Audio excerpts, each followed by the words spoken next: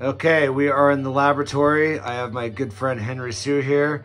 We're going to talk about general snow skate setup, physics, and some of the theory behind uh, setting your board up, distances, etc.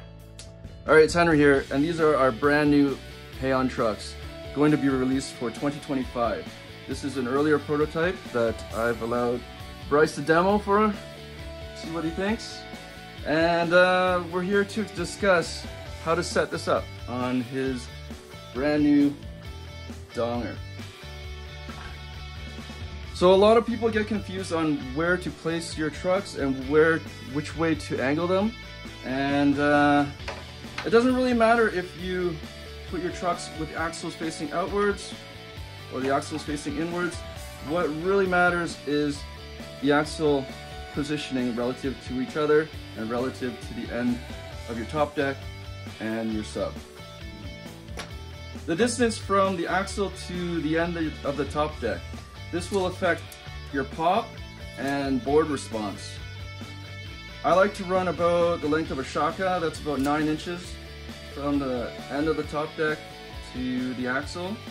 If you shorten that distance, it will feel a lot more stable, but at the cost of pop. And you'll have less response in the board, but you'll be able to carve a lot harder.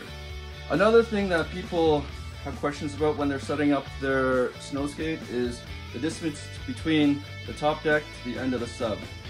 Um, there's advantages of both, whether you have a very long stick out or a very short. The shorter it is, the, the higher you'll be able to ollie and the easier it will be to um, kick turn your skate on, on steep terrain. Uh, the longer, uh, you'll be able to carve and uh, hold an edge better, um, but you'll sacrifice the ability to, to ollie your skate because ultimately the sub will touch the ground, preventing your skate to pop. The distance from your front truck to the front of your board is not as crucial as the back, but what it will do is change the feel of the front of your skate. Uh, the further you push this axle forward, the stiffer it'll make your nose. If you find that your nose is collapsing or just flexing too much, you can try to push this axle a bit more forward. Okay, so if you know the uh, HAON trucks are slotted, so it does allow for some kind of infinite uh, fine tuning, right? These little slots you could you could adjust a micro, front and back, and you know with even with your rocker trucks, you'll have you'll have different options. It's just going to take you a little bit more to get it set up. I think the gist of it is we're giving you the basics here to run with, but don't be afraid to go out and try something else Try a narrower wheelbase. Try a longer wheelbase. It's gonna rider. Its mileage may vary for sure, so uh, don't be afraid to mess with your setup and get the optimum right out of your skate. Okay, so we moved the bolt in the trucks one inch toward the tail to stiffen this up without grunting like a Romanian weightlifter. it's quite a bit stiffer. I'm having a hard time even getting down to the tail, and it really stiffened the ride up quite a bit.